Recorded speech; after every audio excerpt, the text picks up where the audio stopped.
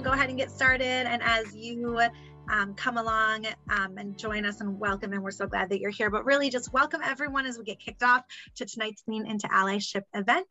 Um, Reimagining Reentry, a mess to a message is our topic for the evening. And we are so excited and honored to have Aaron Hicks, founder of Focused Interruption and Nehemiah Reentry Coordinator, here with us as tonight's special guest as he and Dr. Gee talk about the impacts of the criminal justice system, the challenges faced by community members during the journey of reentry, and how you, how we can be active participants in a dignity-centered holistic approach to reentry. So we want to jump into the event as soon as we can to give Dr. Gee and Aaron as much time as possible and then open up the conversation to your questions as we always do. Um, so just a quick few housekeeping items to get us started. We will have the chat function turned off during this event to allow our Nehemiah team to share some awesome valuable resources and content throughout the event, but please do use the Q&A at the bottom of the screen to interact with us. If you are new to the Lean into Allyship series, don't worry about capturing everything that is tonight. We send out a follow-up email, including all of the resources um, and everything that's shared, including the recording of this event and a link to where previous events are stored on Justified Anger's YouTube page um, and a whole bunch of good stuff. So please just be present tonight and soak in the information and ask your questions, um, and then we will package everything up for you as a follow-up um, after the event. And so as you've likely heard heard us advocate in the past, we ask that you strongly consider donating to Nehemiah as we cannot and do not expect them to support these events and um, educate us in our growth and development for free. Um, and we also encourage you to use your company's donation match program if they do offer that to really maximize the impact of your dollar. Um, and lastly, just a reminder that this hour is really for all of us, right? And our intention behind the Lean into Allyship series is to empower would-be allies by creating an honest and actions-driven space to grow together. And we want you to be active participants in the conversation. So you really drive the second half of the discussion. So please enter your questions as they come up throughout the night. Um, and it's really helpful if you don't wait, as we often get a lot towards the end and aren't able to get to all of them. Um, so as we're going through and you have a question, please share it and we will um, make sure to, to keep it tracked so we can get to it when we get to that section. So with that, we'll just go ahead and get started. Um, as we dig in, we wanted to take a moment to ground ourselves for tonight's conversation by sharing in the Q&A simply one word or one phrase that you would use to describe a good neighbor. So please enter into the Q&A one word or phrase that you would use to describe a good neighbor. And we will carry this with us and revisit this question again at the end of our time together. Awesome, we're seeing those responses come in. Thank you so much. We're seeing understanding, trustworthy, caring, kind, empathetic, friendly, respect, respectful, thoughtful, welcoming and supportive, a lot of kindness, respect, reliable, trust. Excellent. Thank you so much. And so again, we're just going to kind of hold on to that and carry that with us um, through the conversation, and we will revisit um, at the end of our time together tonight and just kind of expand on, on um, what we've just shared and kind of what instantly and initially came to mind for you. So before I pass things over to Dr. Gee, I just wanted to take a moment to introduce him for those that might be new to our group always just really express our for his commitment to this Lean into Allyship initiative. Dr. Gee is the president, founder, and visionary of the nonprofit Nehemiah Center for Urban Leadership Development. Their vision is to engage the greater Madison community to empower African American individuals, families, and communities to bring about hope, transformation, and justice. Nehemiah's work focuses on five core areas, including education, economic development, incarceration, family and community wellness, and leadership and capacity development. Dr. Gee has over 35 years of experience in this space of serving as an advisor to leaders across the world, and his efforts have included educating, coaching, and mobilizing white allies, which brings us to this evening. Welcome, Dr. Gee. Thank you for your support and your trust and investment in us, and we will ask that you take it from here. Samantha, thank you. And and as I say each time that we um, we come into this space, that I appreciate you and your team. And and if I start naming people, I'll I'll space out because I get tired by the end of the day. but the folks at Generator, you and Dan, for consistently doing this for over a year, creating a platform for me to talk with aspiring um, white allies or non-black allies who want to be in meaningful discussions and communication about what are the next steps. Um, it seems as if we have this fixation with crises. So when there is something tragic that happens in the news, we're all up in arms. And so I appreciate that you all are working with my team to create an ongoing discussion, a conversation about things that are happening so that we don't have to wait for a crisis to act. We want to keep our foot on the gas. And so um, that is that is very exciting. So appreciate being here. Samantha, um, I am I am excited about being able to talk with um, Aaron uh, Aaron Hicks. So tonight is going to be really exciting and really special. Um, Aaron Hicks is first before I get into to this, I just want to say, can we put well, let me just say this. Aaron Hicks is a very special uh, person. Um, he's been a part of my staff. We'll talk about it a little bit more. Aaron, what seven years now, Aaron? More like nine. Well, more like nine. Where's the time going? And um, someone who inspires me, not only because um, of what he's done with his life, but the things that he continues to do in his life, uh, with his life, the questions that he asks, the buttons that he that he that he pushes, but also his ability to be transparent. And so tonight, um, I want us to talk about. I wanted to have a, a discussion with Aaron just about his life. So often we talk about programs, but I think we'll get to that but uh, or maybe we won't but talking about aaron's life helps you to understand the level of the programming that that we offer. Um, i met aaron when he was just released from from prison. Someone inside prison told him about me and about our church and about our organizations. He came to a group called man up that i started. Aaron is now full-time employee. He runs that group. He is he is a facilitator extraordinaire. Um, and it's so amazing uh, and it makes sense because he used to take the group over when I was facilitating it. I would try to get a word in, and I really couldn't because he was coming up with all these ideas and these thoughts. But um, but the fact that he's using that wisdom and his lived experience to help us serve the broader community in such a meaningful way. But I thought it would be really great just to get a little bit to know a little bit more about this incredible young man. Um, we we have the same birthday, a couple years apart, about ten years apart. Uh, so we just had a connection right from the from the beginning. So so Mr. Hicks, thank you so much for being on Lean into Allyship, and uh, and thank you for being willing to talk with me just about your life and your journey, man. Welcome. Thank you, thank you guys for having me. It's been a blessing. It's been a man. It's been an amazing ride. Um, but we continue to do some very innovative and very real things that I believe that people should hear and know about what's going on with Definitely. us here at ne- Nehemiah. Definitely. Can we put that picture, that that um that advertisement picture with Aaron on it? Can we just put that back up for a moment? I know I'm throwing a curveball. Aaron knows where I'm going. So Samantha or Dan, can can we put that back up? You got it. Aaron, I don't know if this is a professional photo. I don't know if I authorized this. You look kind of super fly. This is this is I don't know, kind of sexy looking. Aaron. And so, um, what did, did you go to a professional photographer to get this photo done? Because actually, I, I, did. Actually, I did. Um, you, you did. Actually, the the person who took this picture, the professional, um, was Anthony Cooper. So.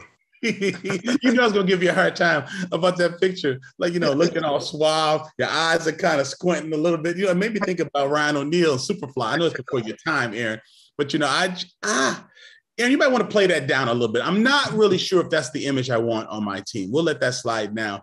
I'm glad you grew the beard out and stuff like that. Yeah, that's just kind of little like Rico Suave. And so we might just need to talk about that. All right, a little bit. All right, Samantha, okay. we can take that piece down. I had to, I had to get my heart. Aaron, listen, we're gonna jump into stuff talking. Let me just ask you a couple questions, man. Listen, and, and I do, I do from um, my podcast, Black Black Icebreaker. But man, in our community, what has to happen to make somebody say, "Man, I almost slapped my mama"? What what what has to happen in our experience in African American community to make somebody want to slap their mama? Man, one I'm talking about if you if you cook the food the right way with the right kind of seasoning, Oh my goodness, that would make you want to slap your mom. So when's the last time you've had food so good you thought about slapping your mom? I know your mother's not with us now, so I'm not trying to be disrespectful of that. No, no. But let's just say when's the when's the last time you had a meal so good that you thought I might have to slap my or somebody like somebody's mama getting slapped. Like when is the last time you had mama slapping good? So so I'm I'm actually doing a project with the uh with the UW. Um every Wednesday we hold a group, um, and the person who's cooking, oh man, we get a meal. We have a meal. I'm talking about. She really, she really showed out. She showed up. She showed out, and uh, that was one of the meals where you was ready. To, man, I'm talking about cornbread, greens. Like oh. she was really, oh yeah, she's really showed twitching. out. My hands twitching when you say, "Where's the powder? Where's the powder?" That's right. Man, Aaron, are you old enough to remember the Fat Albert series? Fat Albert cartoons? I got a question for you then, since you're gonna ask me that. What was the cartoon that Fat Albert and them used to watch? Oh, yeah, Black Knight. Yeah, the Brown Hornet. The Brown Hornet. Here. I knew it had some. Oh, so you're gonna try to get me on the Black Icebreakers? All right. Who was your favorite character on Fat Albert? I, I got to go with Rudy. You like Rudy? No, I, I like Rudy. Rudy was Bill's little brother. His walk, his walk, his walk, his head always was. That's oh, that was. Rudy, the guy that used to walk kind of like this. Rudy, is he the one yeah. who, wore, who wore the cap? He did. That you're talking, yeah, yes, yes. Yeah, not Mushmouth. I, am not talking about Mushmouth. Who wore not that? Mushmouth. Uh uh-uh. uh Rudy. That's right. You look like Rudy on that picture you took. That looked like a picture Rudy would have taken. Hey man, last question. What was your favorite cereal growing up? Did you have, did you have a favorite cereal? It, I did, and that was Frosted Flakes. Man, man, I got you. I used to put sugar on Frosted Flakes as a kid. No, see, you can't do that. That's that's too much. My mom wouldn't be they, looking. Yeah, yeah, I used to put a little bit of sugar on it. I had some. I had some some issues. Man, Aaron, now I was really serious, bro. Um, you inspire me in this work because you remind me of the relevance of it. I love the fact that when you have ideas about how we can serve people better, you speak up. I also love the fact that you don't forget the systemic part of the work, mm. that it's not just about bandaging people and fixing people and rescuing mm. people, but there's a systemic reality that needs to happen. And what I love is it don't matter who's in the room. It could be Kelli Thompson, who is our state's public defender. It could be a former, you know, we had a federal prosecutor in our in our justified anger um, criminal what? justice team. It could be Sheriff Mahoney. It don't matter. You will speak up and say, why do we keep talking about trying to fix a system when it's working the way it was designed?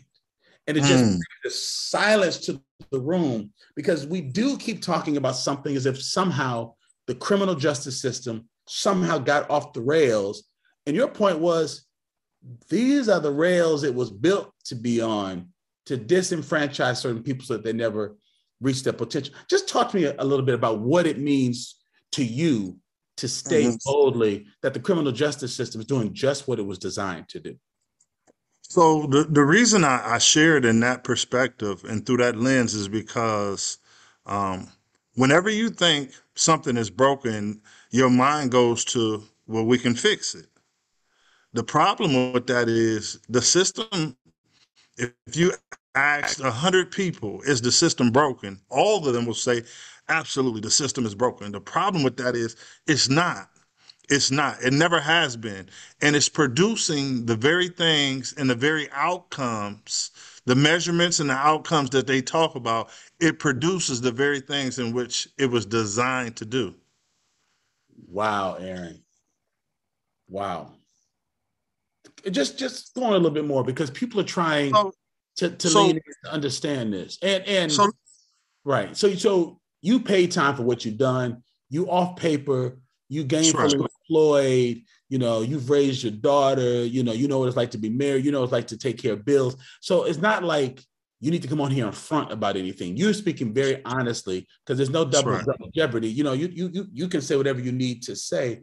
You're not just making it. You're not just making this up. You're trying to help us to understand there's a system at work, and it, it's right. no, there's no place else in the country where it's more gruesome for Black people, specifically mm. Black men, than than than Wisconsin. And you come through that system, and you're telling us this what is this is what it was designed to do when most people think that place is for bad people and it keeps our streets safe you're saying it creates more black more bad people? So let, let, let me let me let me give you an example of what i mean. Let, let's take it away just for a second away from the criminal justice system. I believe for people who not everybody watches basketball but majority uh, some people do some people don't.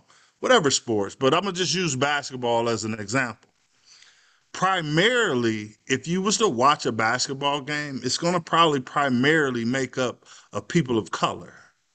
Okay. um, with that being said that i mean I, I get it i understand it. Now the question has to be asked they they make a lot of money extremely a lot of money. What's interesting to me is the fact that how many black owners of a basketball team do we have? Well the answer to that is one. Does that mean black people don't want to be owners of basketball teams? Absolutely not. But we understand that there's a culture that has been created in some way, shape, or form um, that does not it does not allow black people to enter into that. And so, because they are not able to enter into that, we have a system that has been designed a very strategic way. And throughout time, you see this system being used in every aspect of life, whether it be financially, whether it be in the education field. Like I'm doing work with the people at the UW, right? And I, ask those questions, even with them. I'm just, you know, things to make you say, hmm, why? Why isn't does that mean black people don't want to be educated? Absolutely not. But we have created a system in which it has um, not allowed people of color to be involved in, right? And so that with that being said, now when you turn it and take it into the criminal justice system, right, um, you start to see the same narrative. I had a judge say to me, this was the exact words. He said to me, I never took on this position to lock up black and brown people. And you know what I said to him? I said, You're absolutely right. If that would be the case, we could take you out of the equation and we could put someone else in the equation and it would change the narrative. But see, how the system is designed, it doesn't matter. Doesn't matter who you are. It doesn't matter what color you are. Because the system is designed a certain way, and whoever takes on that position, guess what they'll be doing? They'll be locking up black and brown people. And it's based on how the system has been designed. And until we understand this design and that it's not broken, and it's not until we eradicate the whole system in itself and bring people together in its full totality so that we can get perspectives from all around the board versus as just one narrative, we can't really have a, a successful system in the sense of success for all. Right. And and Aaron, you're not just out here um, saying this stuff because it feels good or sounds good. You're trying to open people's eyes to understand this system Absolutely. is jacked up, and if we want something new, we got to create something better. Um, right. I've seen some of this stuff firsthand about how the system is. Um, I had a friend who wanted to offer Aaron a full time job because part of Aaron's stipulation, part of part of what was um, um, probation, was that he needed to get gainful employment so that he could be back with his family. You know, so the system forced him to not live with his wife and daughter. I still don't understand that. The system forced him to not live with his wife and daughter. So he had to spend money um, to get another apartment. And he was told that if he got gainful employment, found a guy who owned a newspaper, took Aaron in for the interview. I went and accompanied him on the interview. I brought the owner of the newspaper and wanted him to do sales. The agent who works for the Department of Corrections said, Well, do you know what he went to prison for? He said, No, he's out. He's done his debt to society. He's out here. I know he's got some good experiences. I mean, so, and I want to I want to give him a shot. She said, Do you know the whole story? Um, um, I don't want to tell all the story, Aaron, but but but she said, Well, he can't use a computer. He goes, Well, so if you hire him, he, someone else is going to have to enter his data because he he can't be on a computer. And Aaron, correct me if I'm wrong, but you're, you're, the thing for which you were, the crime for which you were sent to prison had nothing to do with computers. The, Absolutely not. internet wasn't even out when you when you when you went out. That's it wasn't, right. wasn't even like that. She kept pushing buttons. She goes, Well, he can't go into an Applebee's. He said, Why? He said, Well, because that's a bar. She goes, Applebee's is a, like a community grill. It's a restaurant. It's not a bar, it has a bar in it. Well, still, he can't go to an Applebee's. So then, who are you going to call on for sales? She kept pushing this executive until he said, You know what? I'm done. I'm not going to do it. He went in there, a black CEO had the amount, had the ability to hire Aaron to help Aaron earn enough money to move back with his family. And this agent kept pushing and pushing and pushing until right in front of my eyes, this CEO said, "You know what? I'm I'm good. Sorry, Aaron." Walked out. Aaron never got that job in that place. Had I not been there, I would have thought that's propaganda. Come on, Aaron, something else happened. She knows you can't get your life together until you get a job. You can't get a permanent address until you get a job. She needled that CEO until he rescinded the offer. The job was yours. We just needed her to rubber stamp it. That's right. That's a design. It's not helpful. If her job is to help you reenter into society, doesn't she understand that one of the best social programs is a job? That's right. And That's you right. had strong abilities, great communication skills. You could have made a killing in that job. That could have led to something full time. And she right she she stopped it. And so I certainly get what you mean, man, when you say that this is designed because we're not saying you're not saying there are not crimes, there are not things for which prison is the appropriate penalty. Right. If you have untreated mental health issues and you get no mental health services, if it's drug addiction and it's related to mental health issues and no one's talking about it, if you get no GED assistance or helping to get your education together, you're just being warehoused making making um, um, apparel or furniture for the state of Wisconsin, but you're not being rehabilitated so that you can enter society. Then when you pay, what was your last stint, Aaron? 12 years? That's right, 13. 13 years. So when you come back out, you got debt, you got to pay restitution. They should want you to work. And the very people whose job it was to steer you back into community became the roadblock. And the sad thing is, Aaron, you're not an exception. It's this is a common theme. It's a common theme. This is something that you see on a regular, and and because you see this on a regular, um, it becomes that much more harder um, to deal with because we know that in order for people to be successful out in the community, they they will need some type of employment. And it shouldn't just because they're okay as long as you work at a McDonald's, a warehouse, anything outside of that. Let me give you one other example. Since you talked about employment, I had an opportunity to become a parking meter person. Um, and that would have paid me richly. And I had the whole Southside Police Station behind me to bag this to make sure I could get this job. And I went and I took this to my agent and I was like, look, I got an excellent opportunity. Here's the job. This is what the job description consists of. Um, and she told me you would have too much power. And so for that reason, I was not able to obtain that job either. And she um, could unilaterally do that without a judge's intervention, without a supervisor's intervention, without a bench. None of that. She had the she had that much power over your life to make that decision. Yeah. Yeah, and it would have been a living wage, so the the pay would have been really good. It would have really put me in a great position. However, again, because they have so much power, and we know that absolute power corrupts absolutely, um, and without people really challenging that, um, it again, I do believe on the flip side of that. Um, in all honesty, I realize now, you know, they say hindsight is twenty twenty really the objective was to keep me at Nehemiah. I I see that now though. Sure, but but at the time we didn't, but we didn't know that though, Aaron. We did. That's right. We didn't. Aaron, we didn't. Do you, remember, do you remember? Um, you all um, years ago. This is before Aaron worked for us. I hired a life coach to create a certification through Nehemiah that was called a reentry coach.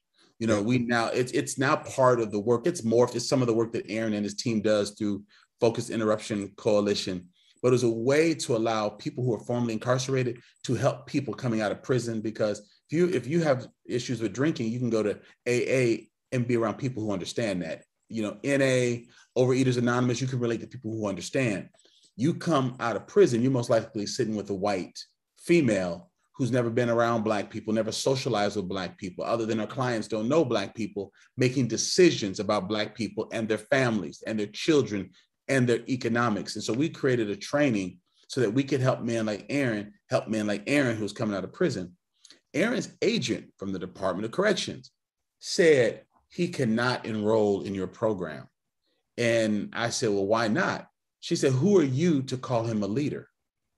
I said, Well, I have a doctorate in transformational leadership. I think I know how to spot doctors. I'm certain I know how to spot leaders. I'm certainly more qualified than she was as an agent to know leadership. We had to fight to allow mm. Aaron to come to a free program, to get a free certificate, to be called a reentry coach because the agent said that's too much power. And how do you have the right to call him a leader? I, I, thought we were looking for community partners. I thought we were trying to get people to help with the rehabilitation. I thought they wanted you out of the prison system. Obviously, I was wrong. And the second thing I'll say, Aaron, is when I met with, I can't remember which Secretary of Corrections it was at the time, and we are talking about your case, and mm-hmm. I kept referring to you as someone formerly incarcerated. The community, the community corrections director said, "Excuse me, Reverend Gee, why do you keep referring to these folks as formerly incarcerated?" And I said, "Because he's not in prison. He's formally, She said, "He's still on paper." And in the state of Wisconsin, if you are still on paper on parole, you are still considered an inmate. He's just outside, but he is still an inmate. He is not formally incarcerated. He is still incarcerated. And I said, mm. she helped me because she said what I thought. But the audacity to correct my language, to not refer to you as someone mm. formally incarcerated who spent the majority of your adult life in prison, too much of it in prison. She corrected me that I did not have the right to refer to you as formerly incarcerated because you mm. So, Aaron, what you've done for me is helped me to live in, live live up close on some of these things because I wouldn't I wouldn't have believed it. I remember one time you were having another issue with your agent. Um, I'm going to tell two stories. One is we called a community forum where we had your your landlord, we had your psychologist, we had your employers, you had people there supporting you, and we invited DOC for a community meeting. They want community interaction. They felt very uncomfortable. Who are we to call this kind of meeting? And we just said, we're vouching for this guy. You're not out here by yourself, DOC. We're vouching for him. We had a great meeting. We challenged them about some of their some of the things that they had done. By the end of the day, Aaron wound up locked up. The the police right. got him. There was some right. snafu with his ankle bracelet. He ended up in jail on a PO, a parole, a parole officer hold on King weekend. So this is going to be a long weekend. Yeah. And that Tuesday, he was going to start his next semester at Madison College, where he had just made the dean's list. He's going to second semester on the dean's list, and he is sitting up in jail. Just um, ironically, the same day we're sitting on his behalf, explaining to DOC, you all have a horrible system with rehabilitating folks and getting them back in the system. We're this man's support system. Listen to us. The response was, I had to call, I had to go all the way up to the regional chief. I had his cell phone, and he made a woman who lived in Beloit, Janesville or yep. Beloit. He didn't even have her at that meeting that day. But because he understood what a crap storm this was going to be if it got into the media, because it was clearly retaliation um, or ineptitude, he made her come from Janesville, from Rock County, back to Madison to get you out. One of my friends who was a police officer said, I've never seen an agent come and get someone out of jail the same day she locked him up. That happened. That's right. That's right. That's right. You got a good memory, man. man well, I mean, man, you got a good memory. Because Aaron, I, I mean, I live in this community. I, I, consider myself a community influencer. I didn't believe that this stuff was going on. I, I didn't believe that it that it could go on. And so to see the retaliation against you for advocating for yourself was just, man, it was just, it was appalling that that could happen on our watch. And I said, but what about all the people? What about the men like you and the women like you, Aaron, who were locked up on false pretenses and didn't have somebody in their corner who had the regional chief's cell phone? That's right. I gave him a call. He called me back and I said, when this hits the media, this is going to look really bad on you. You don't want to do this. He made a phone call and had somebody come from Janesville to get Aaron out of that hole. Yeah, that's he right. Would, he would have missed the first day of class. How, you know, how disheartening would that have been? So, Aaron, I want to hear you talk some more. I'm talking, I'm talking. Yeah. That's okay. That's okay. Let me just share something with you real briefly. Please. I, I was having a conversation. They just had an event here in Madison at Luna's, which is a, a Spanish um, store here. Um, and it's over in my area. And I went over there. Um, they had a little event, festivals, and all of that. And I was having a conversation with an officer, and he was just sharing with me how he was just tired. And now he's just trying to, you know, get through what he got to get through so he can retire, so on and so forth. And after I listened to his conversation, I shared a thought with him. I shared with him that, you know, he just wanted to get out, he wanted to retire, and I get all of that. I, I, I get it. Like it, makes sense. But I also share with him he has an obligation. Um, he was like, they're not gonna hear me, they're not gonna listen to me, all of these different things, and I'm listening to him.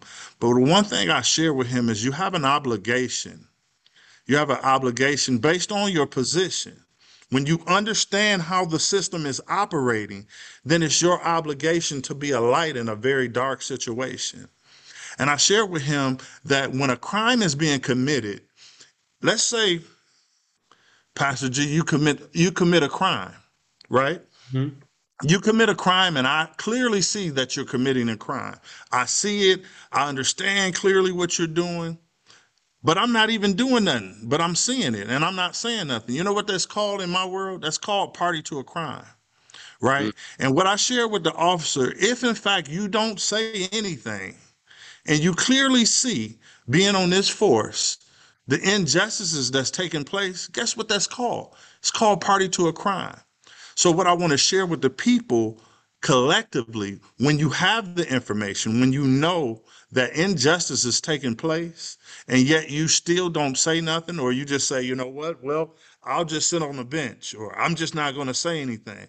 Well, consciously or unconsciously, you are party to a crime because you clearly see what's going on. You know that this is not right. This is not how we're supposed to treat people in any way, shape, or form. And my issue, just so you know, Pastor Gee, my issue has been I don't have a problem with accountability. But if we're going to use that verbiage, if we're going to use that kind of word, then I believe strongly that we have to if the if the powers that be are not held accountable, how do you hold a community? How do you right. hold someone like me accountable if you're not going to hold when we had an officer shoot his wife and shoot his wife's sister and they found him not guilty?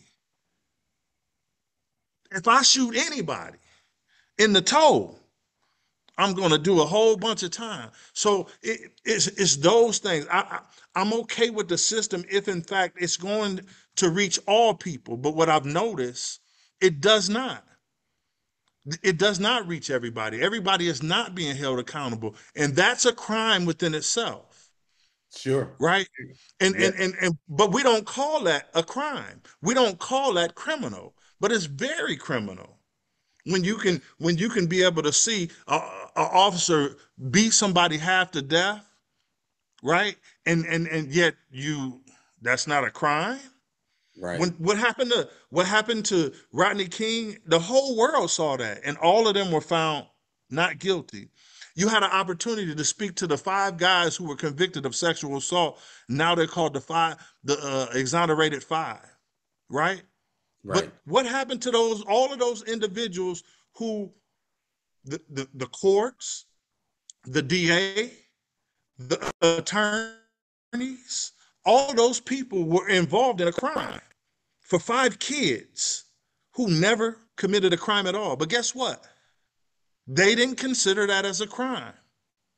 And so I marvel, I, I marvel at how we, we we use words like uh, accountability. We use words like um, um, um, measurements, and and we use things like trauma informed care, but the very system itself is creating trauma. Yes, it is.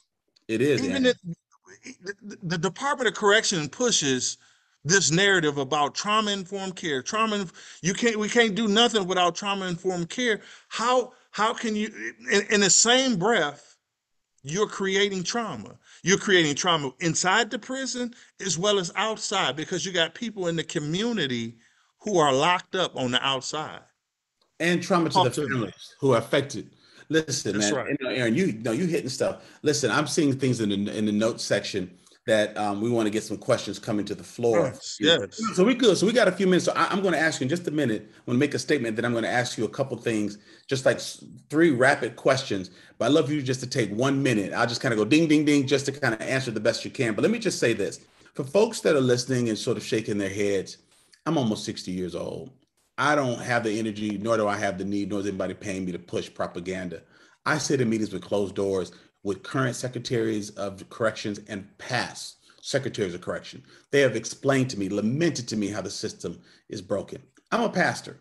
So when someone says that a priest or a pastor did something bad to someone, I don't say, oh, you're anti me, you're anti church, you're anti. You're talking about the ones who did something bad. We're not saying tonight that every agent, every person who works for DOC, Department of Corrections, is bad or evil. Please don't take that from what we're saying. This is one man who's honest enough to let you know this has happened in his life and is happening in the lives of other people. But I have talked to former secretaries of corrections. They've spoken at our reentry conference who have talked about how jacked up this system is. In the early 70s, Marc Mauer, who wrote the book um, Race to Incarcerate said that the federal government was thinking about closing down federal prisons in the early 70s because they were not rehabilitating, weren't making money, they weren't useful. So they were planning on shutting them down into the war on crime and war on drugs and black people started going to, to prisons and they started making money. This was not some this was not a direction that the country was going. A, dr- a drastic change took place. And for people to be incarcerated it's got to involve arrests and courts and sentencing and all of these things. And we're just trying to call things out so we can change.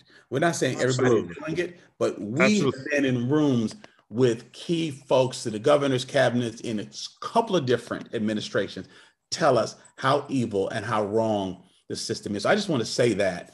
Brother Aaron, with the last four minutes, I'm going to ask you three questions just to see if you can just give me a one minute answer you're on an ankle bracelet for the rest of your life, and that was not mandated by a by a judge. That was mandated Correct.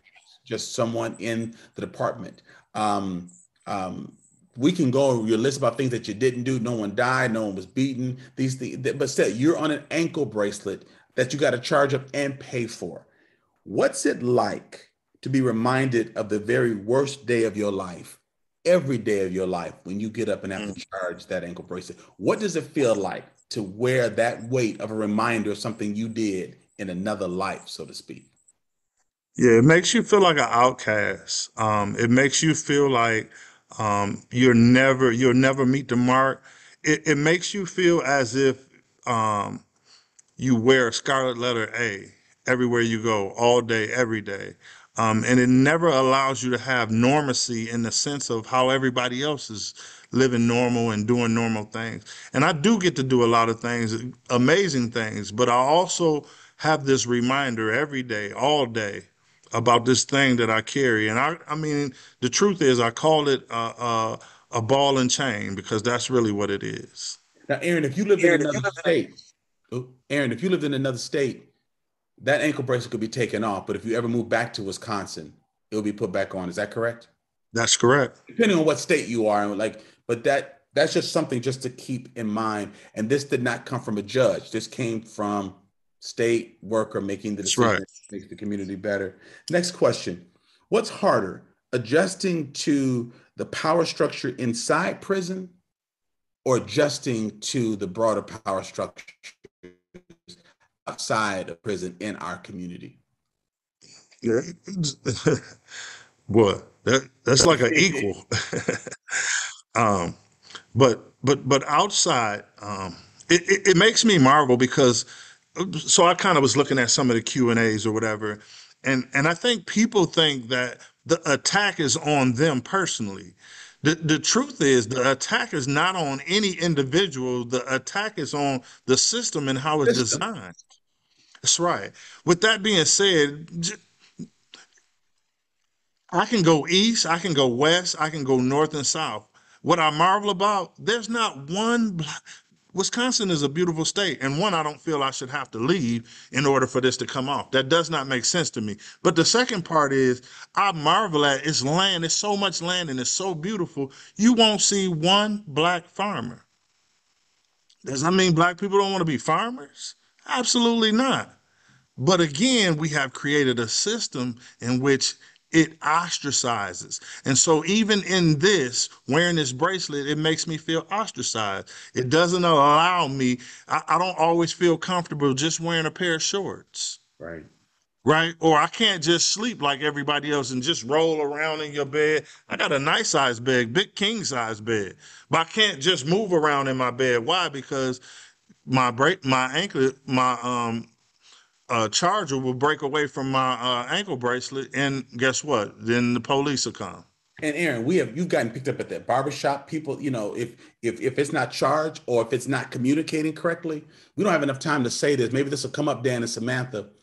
But Aaron had a situation where he was challenging the effectiveness of his ankle bracelet. His friend, his family was threatened that if he continued to do that or talk to the media, we might bring that up a little bit later. What would happen to him and them if he suggested that there was some malfunctioning of his ankle bracelet? Right. Like I wouldn't have known it if I wasn't up close. If I wasn't up close on it, these things are are, are really happening. And so, um, and Aaron, the, the the the last question is, and I see we're out of time, so I'll just ask this. So we can answer fast. The Thirteenth Amendment of, of our Constitution says that slavery is illegal in the U.S.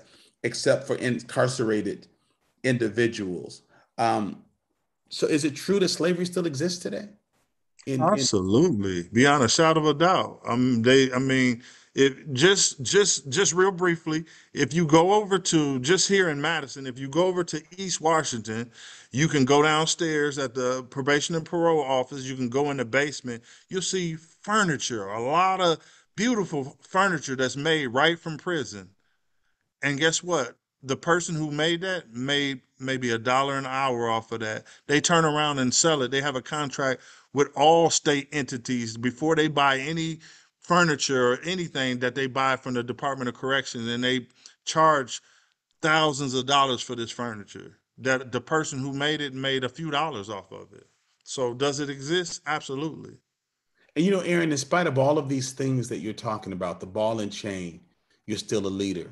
You're still a father to your child. You still you still deal with real pushback. You showed me the letter. You are off paper. You can vote in the state of Wisconsin, although you never got a letter okay. saying you are now free to vote. I actually videotaped you voting for the very first time a few years ago. So you have all the so these things are very real, but yet you're a professional. You help other folks. You you you know you you you you interact with judges and and sheriffs and, and leaders within the Department of Corrections. And so we're not trying to paint a picture of woe is Aaron in spite of all these realities, this man gets up and comes to work every day. In spite of all of these realities, when COVID hit, I said, Aaron, I know a little bit about you, and you, don't need to be out here. And you're like, man, someone's got to take care of these folks, these men that are coming out. They can't work. You know, they're frontline workers, and so they're off work. So we got to get groceries um, to, to them. Somebody said to me the other day, man, I love that staff member of yours who was in the grocery store, the picture of him shopping for people who couldn't go out um, and shop. So, in spite of all that's happening, you're still here to build bridges with DOC, judges, um, um, um, um, district attorneys, public defenders. You're still being a part of the solution. So I got your back and stand with you, even when people are saying you're bleeding on the troops, because with all that you've experienced, you could be a better person. And your commitment is still making sure that this system doesn't continue to be the norm, because the people on the receiving end of it are messed up, and the people who are used as pawns to mete out certain atrocities on people cannot be healthy and well either. It's not helping anyone.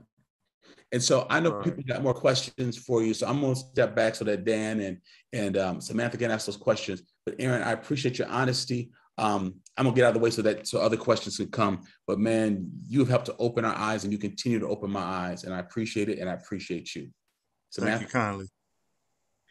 Thank you both so much for that conversation. As always, I wish we had so much more time, um, and we definitely would love to continue the conversation. We do want to make sure to be able to get into some questions. Um, Aaron and Dr. Gee too, if you want to be on um, for this and contribute at all to um, these questions that come in, that's awesome. But as we kicked off, we asked our participants to share one word that they would use to describe a good neighbor. And we are just wondering what came to mind for you both when you heard that that question and how do you how does your um, kind of response to that question deepen and expand when it comes to the lens of reentry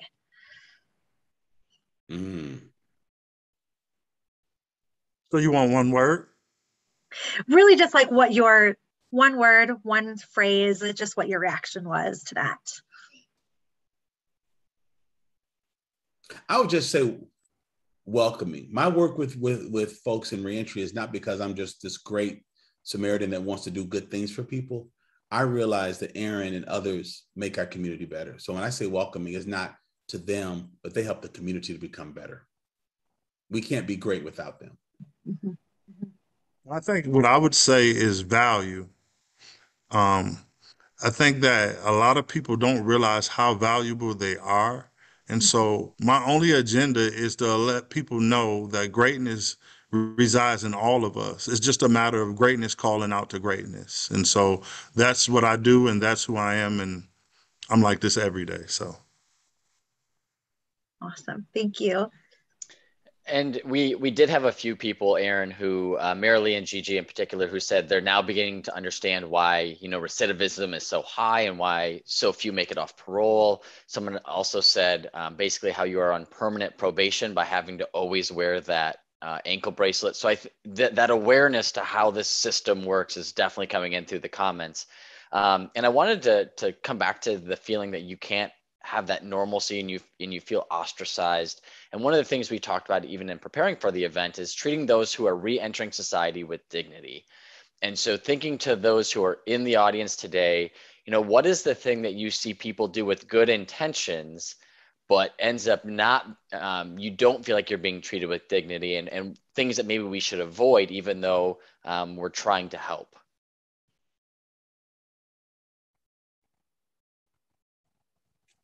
Aaron, I think that's you.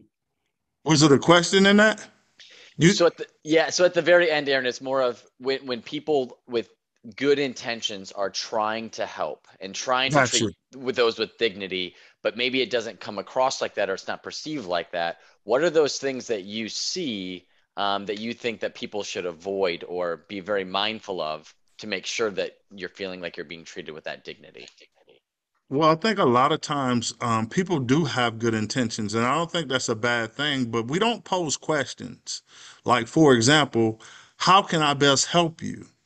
Versus as just taking the initiative to do something without even asking a question. So it's really about not so much if your intent is right, if the intent is genuine and is right, then it wouldn't it, it should never be you taking the lead. It should be the individual kind of guiding you how you can best help them. Because what can happen is you you can you can be hurting me in the sense of you want this more for me than I want it for myself. I not I may not be in that space right? And so um or you could be moving faster than I want to move. So if you uh, if you genuinely want to help someone, I think that it makes sense that you kind of allow that individual who you feel needs that help to take the lead, so they can kind of guide you about how fast they want to move, and also what specifically they want help with. Dan and Samantha, can I throw something out? One of the things that's really powerful about Nehemiah is that Aaron is obviously a black man, but his boss is a black man, and his boss is a black man, and his boss is me there's not a lot of places Aaron could work where the bosses, the CEOs would allow him to challenge Department of Corrections, uh, Sheriff's Office, Police Department openly and boldly because he doesn't. It's not that he has an axe to grind. We're trying to make systems better. Our it's got to be renewed. So even the fact that he's working in a place where his voice is validated, where men who have been formed incarcerated are leading this area, not the folks with the doctors, not the folks with the MSSWs, not the people with the certificates, but folks with a lifelong ankle bracelet who came right out of prison to a men's group that he now leads the, the, the, the ability to preserve his voice so that he can say what he says unapologetically today is how we change the system. Because those who work for the system don't have the platform for saying this. And folks who look like Aaron, who work for predominantly white organizations, can't voice that without being shut down by either the executives or the board. The unique situation of where he works and how he works allows him to bring all of himself not just his ankle bracelet, but his voice and his insights. And that is a rare thing for men who have come out of prison to have men or women who are Black to have space to be not only so in tune to helping people, but so honest about what they need to say. We need to marvel at this because this is what Nehemiah does. This is how we change the face of leadership. This is how we bring about hope, transformation, and justice by saying, Tell us what you see. It makes people mad. I'm reading the comments, you know what? I'm not here to placate. My community is dying and rotting in prison. And some people need to be there. I'm not talking about who needs to go, but these incidents that we're talking about, about what happens to folks, the fact that Aaron stayed at someone's home and at his wife's home after he was off a paper and showed me the letter that said, This is a felony. You are not allowed to stay at your wife's apartment. And this man is off paper like I am. I didn't believe that the state of Wisconsin could write a letter like that until I wrote it. This stuff is real. So I'm, I'm sorry, I'm getting excited and heated, but I need people to understand Black people aren't just whining. We really have place to say what's really going on. So when we have that space, we're going to say it unapologetically because our community is being destroyed. And the, the uh, sorry, let me shut up right there. Aaron, your hand is up, man. I, I didn't even mean to put my hand up. I was oh, going to applaud you. I was going to applaud you, but I couldn't. I couldn't use that. So um, no, that, that's that's that's real, man. That, we black what, what else you got for me, man? Yeah, we're black men who can speak our minds in this country and in this community, and that has not always been the case. And we can do it without fear of retribution because this is his lived experience. I watched it, and our funding does not come from those departments. That needs to happen across the country. Otherwise, people are on mute, and that's how things don't change. Absolutely. This is, Amen. This is a place, right, to have those conversations. That's why we're here you know to hear the ugly truth and to work through these things and to be aware and to learn and unlearn right so that we can be um, so that we can be better in our own lived experiences um, and the way that we show up and support i think um, we had a lot of comments around that a lot of questions kelly asked um, aaron what's the best advice i can give to an incarcerated loved one who wrongly accused will be on the registry um, and bracelet for life. Um, and then Mary Lee also said that she is wondering if mindfulness med, excuse me, if mindfulness meditation is ever used in Nehemiah's reentry program to help people deal with the challenges they face and to help build resiliency. Um, so really just kind of questions around like that dignity centered concept, right? So I would just say, um, Yes, we utilize. Actually, that's what I'm doing a group in mindfulness currently um, with the UW. So that is taking place um, as we speak. Um, and to the latter question, can you just get that to me just one more time? Yeah, absolutely. Sorry, that was a mouthful. um, so Kelly asked, "What's the best advice I can give to an incarcerated loved one?" Yeah. Yeah. So, so, so one one of the things about incarceration um, we, we, we look at it first and foremost. Let me just share this. What I share with people today is that incarceration is not limited to a building or a space. Incarceration is a state of mind. We we have to understand that because there's a lot of people who will never be inside of a prison that is very much incarcerated. Um, when you're not at liberty to be able to speak un, unapologetically, you're incarcerated. When you can't when when you have to live from paycheck to paycheck, you're incarcerated. These are very these are real truths. Um, and one of the so so to to that and to the individual who asked that question, one of the things that you can really just share with the individual that is in that place of prison that this too shall pass but you should you should always get the most out of it um, had i not been incarcerated i don't know what my mind would be be like now, right? And so I was my agenda. That's what I've been doing. And so I would just share more than anything when a person is in a place of prison, you want to just be consistent and you always want to be genuine. Um, don't tell people what they want to hear, tell them what they need to hear you know, because that that helps me, and I believe that'll help that individual who's in prison. Um, we can't live off of woe is me, um, but you have to take it, you know, because you have to take these things and you turn it into something great. So I have learned how to turn my test because that's what it is is a test you turn your test into your testimony and so that's what we do and that's how you change the narrative And unfortunately, for the sake of time, I think Aaron, we're only going to have just two quick last questions that I want okay. to group in here. So to the point though about um, it's incarceration is not just being in the building. There's a financial burden that I want to point out to this as well. And somebody had actually asked, um, one, how much does your bracelet cost per month? Because um, there's a financial burden to this system as well. And then secondly, somebody had asked, all you know, with you having to wear that bracelet, is there anything that can be done about the length of time that you're wearing it? So to the first part, um, I pay two hundred and forty dollars a month, and that would be for the rest of my life until I die, um, unless something changes. Um, that's a bill that I didn't ask for, um, and that I don't want, um, and it will affect your credit, all of that. So um, I have a desire to get my own. I've been living in the same apartment since the day I came home from prison, and I desire to get my own house now. Um, but with that being said, obviously you already know that it's going to affect my credit due to you know, and that's a consistent bill, and they want their money. Um, so when it comes to just that part, the Department of Correction and all of that, this is more this has nothing to do with the safety of the community. This has everything to do with dollars and cents and i just have to share that because that's the truth. Why would you continue to just keep going on and on? It's one thing to get into a fight two people get in a fight you beat the person up. It's a whole nother thing. They knocked out. You you're just gonna stomp on them? Like they're not even fighting back and so th- my whole point behind that is now I'm not even on paper no more, and yet you still want to continue to knock the lights out of me, um, and you don't want me to have no liberty at all. And I believe people are looking for liberation. And you said, what was the other question? I'm sorry.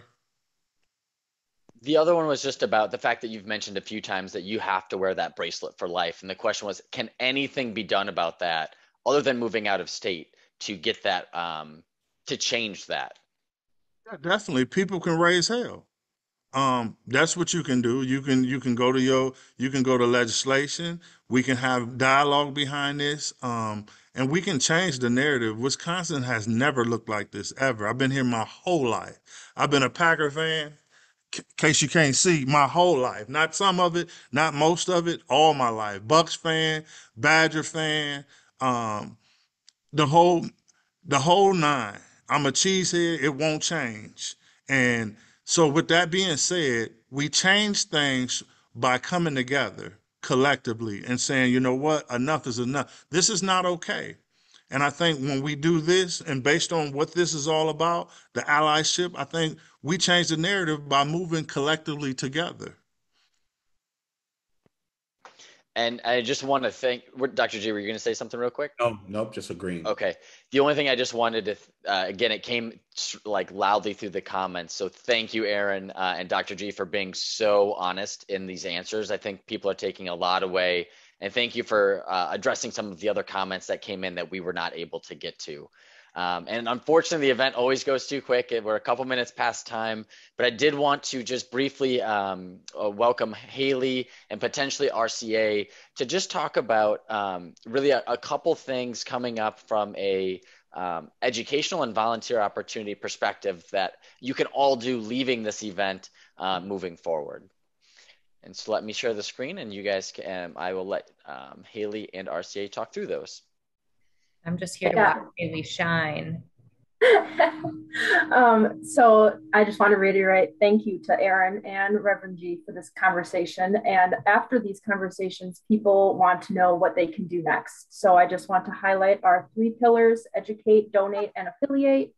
Uh, with the educate column coming up, we have the criminal justice workshops with Dr. Karen Reece that are going to provide a really extensive overview of this problematic system in Wisconsin specifically.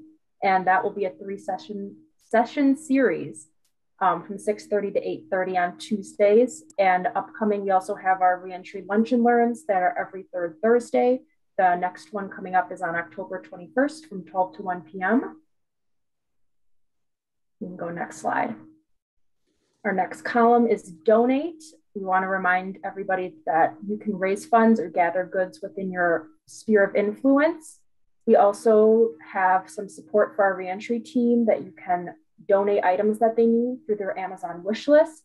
Uh, there are a few items on the wish list, but they need a lot of quantities of these items, so that's why there's so few.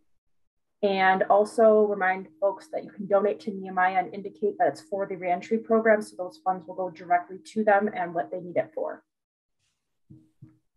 And lastly, you can affiliate and come work alongside us. We have the volunteer survey to get signed up so that you can receive volunteer opportunities. You can follow us on social media to see all the fun things and education opportunities that may pop up along the way. You can always invite a friend to join you at a Nehemiah event to help spread the word. And lastly, you can look into other organizations that support reentry. There are a few good ones, such as the Prison Policy Project and Expo, that also do some really good work educating the community as well.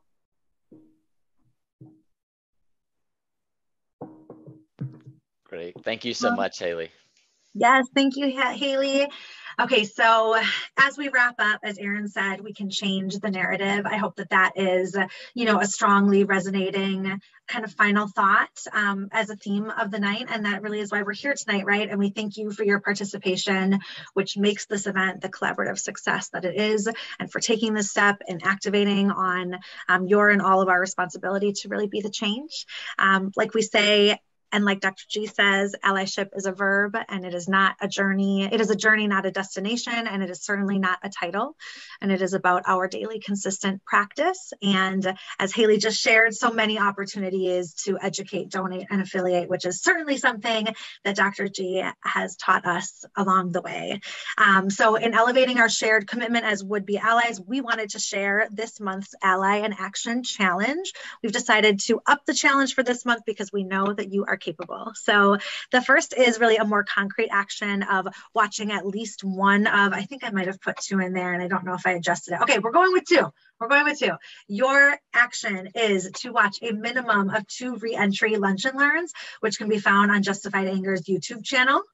Um, I think that Don would maybe be able to share that again if he hasn't already, but to boost that. So we're just going to ask that you take an opportunity to watch two of those lunch and learn sessions um, leading up to the next, um, the next upcoming event in October. Um, and then based on tonight's discussion, our second action is just a commitment to reflecting on the question that we asked at the start of the session. What does it mean to be a good neighbor? And has your perspective expanded? And how can you take action on leveling, leveling up the way that you show up um, to your neighbors and to your and for your community? Um, we want to make sure that you mark your calendars for our next Lean into Allyship event, which will be in November. Um, our date is TBD. We'll get that out hopefully with the follow-up email. Um, we have some really awesome options that are kind of in the works for, for our topics and content. So we will share that out as soon as we have it. Um, Dr. Gee and Aaron, would there be any closing remarks that you would like to leave us with? I know we want to talk about the launch of Black Like Me podcast, um, or the Justified Anger podcast, White and Wondering, which I can certainly cover any of those things too, but just wanted to give you the floor to share any, any thoughts and anything on those pieces.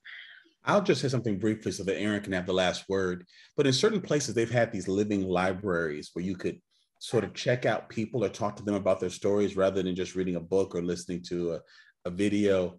Um, whenever I hear that, I think of Aaron. There's so much wisdom and depth to his life experiences. I hope people will come to the Lunch and Learns and listen to interviews with him because I think he is the face of what reentry needs to look and feel like. And I am very proud of him. And I just want to say thank you to every person who took the time to to, to just listen um, and and just really um, just get involved. Um, and then finally, what I would say is, if in fact, so one of my desires is to speak. That's what I do. I believe someone asked me, "What is my superpower?" and that's my voice. With that being said, man, I'm very open. If you guys want me to come speak somewhere, man, create the platform. I'm ready for you. So it's not wrong to use a. It's not wrong to use a person. It's wrong when you misuse them. So use me up. I appreciate you guys. Enjoy the rest of your evening. Awesome. Thank you, Aaron, so much. Um, yes, as always, so many thank yous for the event to Aaron for joining us tonight, sharing your perspective and your experience, um, your intellect and wisdom and passion. Thank you so much for spending the evening with us, and to Dr. Gee for your vision and leadership um, in the work that you do and the commitment that you make to lean into allyship. To the Nehemiah team, thank you, Haley, Don, Eli, RCA, for your partnership and the passion in the planning and delivery of our LIA2 um, events that we get to do together. AJ Keeler as well. Um, to the gener8tor team for supplying the technology um, that they that they offer to us to support these events from the very beginning when we needed a platform home from which to grow. And they're still here with us today, which is awesome.